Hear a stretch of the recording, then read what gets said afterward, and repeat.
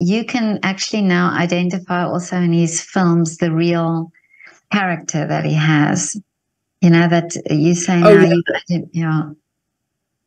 Yeah, you can see it, and that's why one of the things the hardest one of the hardest things for me to watch is a movie that he wasn't crazy about was Xanadu in 1980 because he looks just like he did when I met him in 1985 and the way that he gets out of the chair and the way that he walks across the room I mean it's balletic in just the way he would walk across a carpet. So the way he would cross our our floor in the living room is what you see in that movie and the way he answers the phone talks on the phone and um and the way he you know the, the, it's very i mean obviously he's playing a character but you see little i can see Yeah. little hints of Mhm. things and the way he, he calls olivia newton-john babe um is the way he would talk to me and